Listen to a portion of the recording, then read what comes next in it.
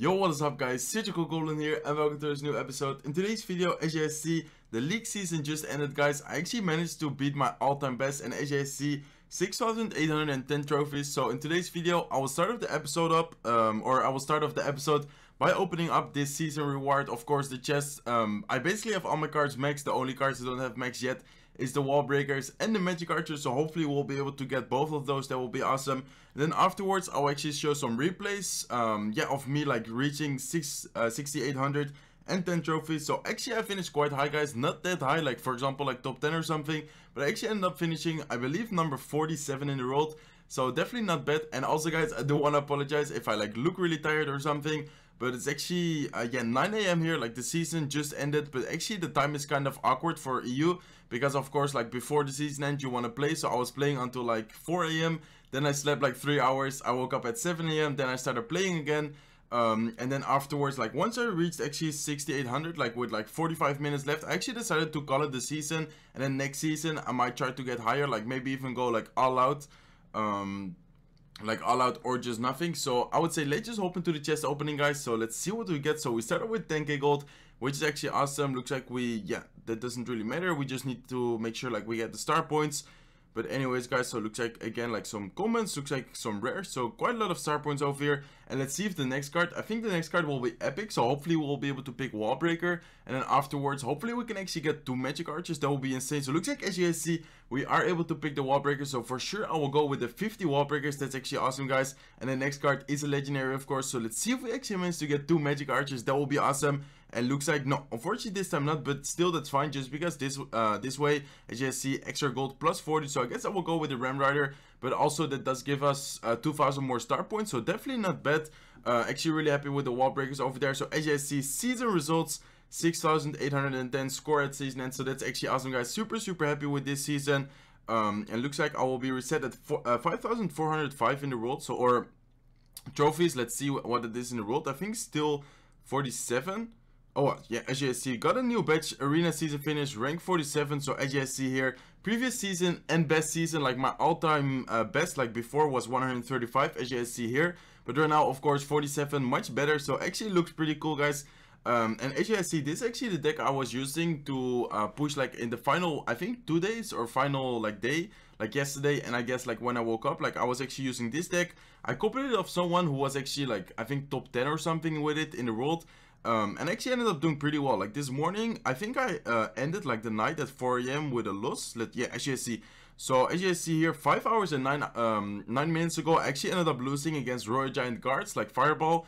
And then afterwards, like I woke up two hours ago. So basically, yeah, at 7 a.m., half past 7 a.m., I started playing. So as you see, we actually managed to beat RG Lightning. So for sure, I will uh, show you guys. Then I actually ended up tying with Pompeo. Then uh, we actually beat Trainer Chris as well. He was actually really high. He gave me 37 trophies. Then Pekka, is actually pretty good matchup for this deck. Like I actually saw quite a lot of Pekka. Like as you guys see here, like I also beat Pekka afterwards. I actually ended up having a really close match versus Lava Loon, like double minions balloon. I will for sure show you guys that replay. And then again a Pekka player. Um, and then the last match, like I actually ended up going another match, but I actually ended up drawing. And then afterwards, like after that match, I just decided to yeah call it the season. So I think I will start off with the RG Lightning one. Then I'll actually show the Lumberjack one, and then I'll actually show the um, the Lava Miner because that one was actually really close, especially because I feel like Pekka is quite an easy matchup. Don't really want to um, yeah go over like an easy matchup. So let's see guys, so this is actually pretty tough matchup. I mean he has guards, he has Electro Wizard and the Furnace. Like we don't really have a poison or something, so fireballs are definitely really important, but also keeping uh, pressure. Like for example, um, trying to bait like let's say his guards with let's say a Battle let's say a Bandit. Like usually I try to bait his guards, like of course not with the Prince because guards is a really good counter against Prince. So here actually um, yeah, with this placement, allowed me to go with a bandit. Uh, yes, dashing like straight into the furnace. So here, I'm not sure what to do, but I actually decided to go with a Battle in the opposite lane, especially because the furnace will actually end up dying. Um, but basically, like here, I know like that is uh, Royal Giant just because he showed a furnace, he showed Electro Wizard and a Barbell. So I was pretty sure this Royal Giant, guys. So here, I would just go with a Barbell. He's actually going aggressive with um, a Royal Giant, so I would just go with a Prince. I would just go with minions, but as you guys see in the top, he does have his guards and cycles, so it should be pretty easy defense for him. I actually decided to go with a Bandit into the left, thinking that he would go with guards like off to the side. He actually decided to drop them in the middle, and with a Barbell, he is able to fully counter my push, We are about equal in elixir, so not that bad, but still probably could have uh, been better. I actually decided to go really aggressive with a better Battle Ram, like even, I think I only had like 5 elixir when I dropped it. Um, I actually decided to go really aggressive, knowing that he just used his guards, knowing that he just used his, um, um, what's it called? Barbarian Barrel. I'm sorry guys, I'm still like super tired. But anyway, so looks like, uh, yeah, but now again, we're about equal in Elixir. We did manage to get his Furnace out of cycle, and Furnace is definitely annoying, so I think that's worth it, even, uh, yeah, it's an equal trade. So here I decided to go with Muskie in the back. I'm not sure if I, um, I think here I actually made quite a big mistake. Like here I actually tried to guide the um, Baby Dragon. I actually didn't end up guiding it. I think I dropped it a little bit too close, like too high. I think if I dropped it like one or two tails uh, lower, it would have actually guided it better. Like the Musketeer would have probably been in range. And right now actually the Baby Dragon is still quite healthy. But anyways, doesn't really matter that much. The Baby Dragon does go down. Mega Man also goes down and he does go with his E-Wiz. I decided to Fireball it. And I remember this is actually pretty close match. Uh, so I think I'll just fast forward it a little bit. So let's go with um, a Bandit like we ended up going with a Bandit. He does go with a Lightning here, but that's actually quite aggressive. So I feel like, uh, or I felt like I was up quite a bit. Decided to go aggressive with like minions, with the Prince there, with the Musketeer. So he actually ended up defending again like really well. I decided to go with a Bandit and a Prediction Barbell. Actually, uh, Barbell probably wasn't needed.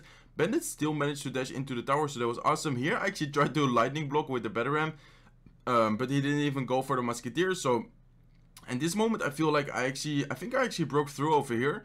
Yeah, as you see, Musketeer ended up blocking on um, the Battle Ram there. So the Musketeer actually brought it down to 461 here. I actually missed the Fireball, like I didn't hit the tower over there with the Fireball. Um, but right now, like this deck actually cycles pretty quick. I decided to go with Bandit, Ice Golem, minions and then I think also a barbell and that allowed me to cycle back to the fireball and then I actually ended up taking his left side tower so I feel like in that matchup like um, if the RG player plays perfect I feel like it's a pretty good matchup for him like he should be able to win it but there he actually overcommitted with the lightning he didn't hit the musketeer and then afterwards I just went basically all in with like ice golem um, I think the prince was already there, so I decided to go with a Battle Ram and then minions and then a bandit. And I think I also went with like Barbaro. I just like spent everything at the bridge, like bridge bam. Um, and then actually ended up dealing so much damage and then ended up getting his tower down to like 200 something and then just needed to cycle to fireball. So actually let's um, yeah look the replay versus Trainer Chris. So as I mentioned, he was actually really high guys. Like I actually ended up getting 37 trophies from um, this match. So actually a pretty interesting matchup. I mean Battle Ram um, or uh, Ram Rider, excuse me, Ram Rider is actually pretty uh, weak against Prince. Like Prince actually pretty strong against Ram Rider in my opinion, but his deck is still pretty solid. Especially because he has triple spells, like Snowball gets a lot of value. So I'll actually fast forward a little bit. Um, yeah, once again, just to not make it like too long for you guys. So I actually ended up going with a Bandit in the back. He dropped his Ice Golem in the back. So again, like right now, we're just basically waiting. With this starting hand, I wasn't really sure, but I think I just end up going with minions, like splitting minions in the back. Yeah, I split minions. I think he goes with his Bandit, so I will just go with my Ice Golem into the lane of the Bandit. Um, and looks like he goes with his Inferno Dragon. I just go with a Musketeer. I was expecting him to actually poison this. Like, as you see, he still has his poison in hand. Uh, I actually went with a Barbell, but Barbell wasn't that great just because the Musketeer still ended up dying and the Inferno Dragon wasn't in range. But anyways, I just ignored the Inferno Dragon. It only got like, I don't know, less than or maybe a little bit more than 100 damage. So here I decided to go with a bandit in the back. He actually went with his lumberjack, so I decided to go with my prince. And I actually went quite aggressive, um, even with a fireball here. I actually ended up missing the ram rider. So the ram rider actually ended up uh, yeah, dashing into the tower and getting quite a lot of damage. But as you guys see, we're actually uh, yeah, still able to get the bandit charge. Locked onto the tower, get two hits onto the tower. And right now we're actually leading with the damage. So I'll actually go to uh, yeah, one speed again. So as you see, Battle Ram actually end up connecting to the tower. I think here I went for a fireball, just making sure I actually hit all the units rather than actually trying to hit the fireball or uh, the tower, excuse me. So as you guys see, Prince is able to, uh, or actually the Ram Rider still managed to get a charge, but in general, like the Prince actually a really great counter to a Ram Rider. So here I actually decided to go with a Bandit up high, like in the middle, knowing that he would go with an Ice Golem. And this actually forced him to go with his Lumberjack. This actually forced him to go with a Barbell. Knowing that he just spent quite a lot, I actually decided to go with a Battle Ram and then quickly drop um, a, a Barbarian Barrel, excuse me, in front of that. Just because as you guys see here, like this is the perfect example. Like the Battle Ram actually ended up connecting to the tower. Barbarian actually ended up bringing it into Fireball range. And of course, as you guys see, Fireball will be able to take it down. So the left side tower, um, yeah, was of course like taken down by the Fireball. So that was awesome. As I mentioned, plus 37. So that was definitely, definitely really nice. Um, and then from there on, I actually ended up uh, not losing a single match, I think. Like when I woke up like two hours ago, uh, we did drew like three times, I think, or two times. Yeah, two times. Um, and then let's see how many victories. So one, two, three, four, five, six. Okay, so six victories and uh, two draws, like since I woke up. So that was actually awesome, guys. And then the last uh, match I want to show you guys, AJSC. Also, I actually ended up like, or actually I wanted to record this video as soon as possible because I was actually afraid that we would um, have like a balance or yeah the balance change would go live really soon and then for example like all the replays would uh, get wiped and i did want to yeah and open up the chest live for you guys and of course show you guys some replays like me uh, yeah, actually ended up getting quite high. So here I actually decided to punish his Lava Hound with a Bandit and a Battle Ram. A little bit later with the Fireball, but the Fireball's still fine. Like the two Barbarians are still there. We'll probably be able to, I think uh, they actually took down the tower. Uh, yeah, we'll be able to take down the tower. But as you see, we are equal in elixir right now, but he still has a 7 elixir Lava Hound. Uh, luckily for us, he actually didn't have his balloon in cycle right now. So I actually decided to go with, excuse me guys. So I actually decided to go with a Musketeer to the side. So here actually decides to fireball and the musketeer with minions actually have a great synergy because let's say in this situation like he has a zap uh, which he actually does like the zap actually like went onto the minions so the minions of course do go down like because of the zap and the lava pups but then as you see the musketeer with 1 HP because musketeer doesn't die to fireball of course still managed to uh, yeah keep the tower alive killing the balloons that was actually um, yeah pretty key so as you see, we're up a little bit of Elixir. I actually decided to go with my Ice Golem and then a Prince in the back. So we do know that he has Goblin Gang in cycle. And of course, the Barbarian Barrel like doesn't reach that far. But I still decided to go with a Fireball over here. Um, and I think he, yeah, he just goes with a Goblin Gang like last second. Unfortunately, Prince does die like to a Goblin Gang. Goblin Gang is actually great counter Prince, especially because like right, uh, right now, like I actually ended up activating the King Tower, like by taking down the right side tower. So it looks like again he goes with his Lava Hound. I think again I will punish, but this time I will not punish that hard knowing that I just used my Fireball. Like I don't want to go with, for example, a Battle Ram right now in front of this. He will just go with a main horde. As you guys see, like in the top, he actually already had his main horde selected. And then he actually decided to go um, with a balloon like instead. Like he actually decided to take the damage. This was actually a pretty bad prince on my part. Um, I probably should have known that he would drop it like in front. So the Musketeer actually ended up dying guys. But as you see on the left side, Battle Ram actually does end up connecting. Barbarians bring down the tower to 571 HP. And the minions is able to, or the minions are able to clean up the Lava Hound with the balloon. So right now we're actually in a pretty uh, interesting situation. He actually decided to go with his Lava Hound in the middle, like tanking for the main horde. I decided to just fireball them and then go with um, a Musketeer. So here I might have been able to, um, yeah, the, or actually I think I do end up defending. I'm not sure. Yeah, I actually do end up defending, but I feel like he will just, um, or I thought that he would just go with like miner. So I decided to go with a Battle Ram, but he actually uh, decided to go with his miner on defense. So here I actually decided to use a fireball offense, just making sure like that it's actually in fireball range, just in case like if he somehow uh, ends up defending. But as you see, Bandit in the middle is able to take care of the tower just because he didn't have anything in cycle. He actually ended up uh, fireball the tower. So as you see, we're now in a pretty uh, interesting situation. We do have a little bit of a damage uh, like lead, like an advantage. But still, like this situation, I'm not a big fan of it just because uh, with one tower, feel like defending lava, like double minions with a balloon is quite hard. So here I actually decided to go with minions, cycling back to my fireball, fireballing the minion horde. So here I pressure with a bandit. Uh, Musketeer on defense for sure, like against the miner, against the minions. So right now we're again able to get quite a lot of chip damage. But as you see, the lava, uh, yeah, pups with the minions are able to bring down my tower all the way to 2100 no 2037 hp so right now we're actually uh, low or down so much.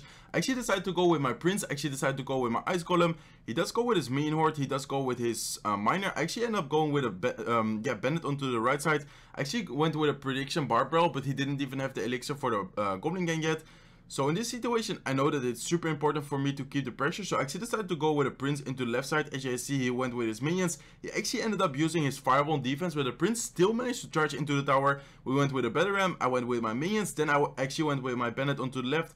Went with a Prediction Barbell, I think it actually did pay off a little bit. Yeah, it actually hit a few of the Goblins.